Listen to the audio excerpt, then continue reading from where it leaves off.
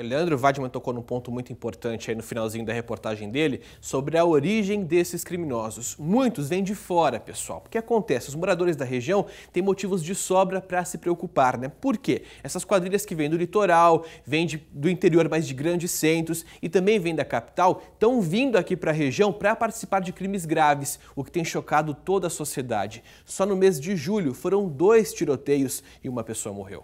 Clima de bem-estar, mansidão, calmaria. É isto que vem à cabeça de muitas pessoas quando se pensa em como é a vida em uma cidade do interior. Ah, aqui é mais tranquilo, né? A gente gosta bastante da proximidade das pessoas. Ah, eu poder sair assim livre, não é? É muito bom. Apesar que não está tendo muita liberdade ultimamente, né? Mais uma sequência de ocorrências policiais consideradas graves aqui no interior paulista tem feito muita gente mudar de opinião.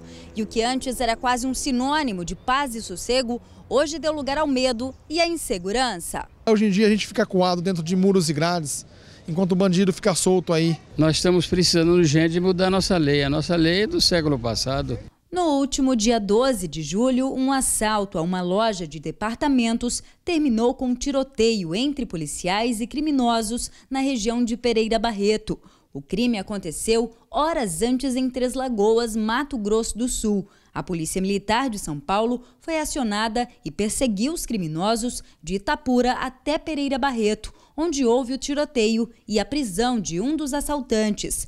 Outras cinco pessoas que teriam participado do roubo conseguiram fugir. O homem preso confirmou que a quadrilha veio da capital, o que demonstra o interesse de criminosos de outras regiões do estado pelas cidades do Oeste e Noroeste paulista.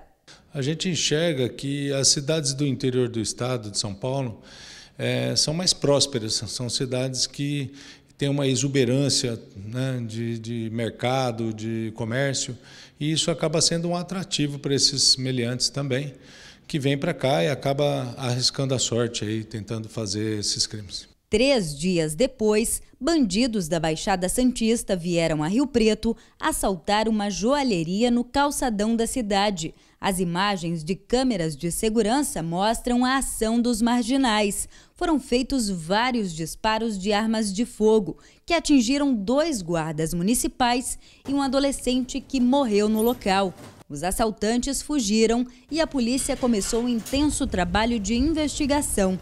Até agora, três pessoas foram presas. Segundo a Secretaria Estadual de Segurança Pública, nos seis primeiros meses deste ano, foram registrados só em Rio Preto 656 roubos, uma média de um a cada seis horas na cidade. Eles se aventuram vindo para o interior, mas a qualidade da Polícia Civil, Militar, Rodoviária e Federal das nossas cidades são é, bastante elevadas e é, eles acabam sendo presos e essas quadrilhas desmanteladas. A região do interior paulista é considerada próspera e abundante em riquezas.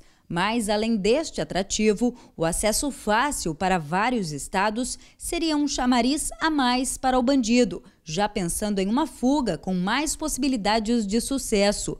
De Rio Preto e cidades vizinhas, é possível ir rapidamente para Minas Gerais.